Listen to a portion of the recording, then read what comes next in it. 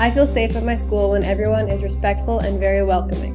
When I can be myself around friends. When I have people who support me.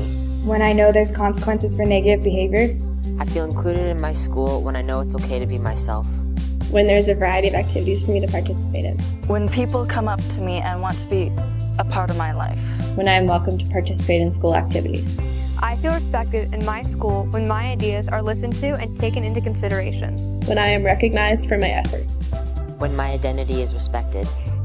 When my teachers trust me to work independently.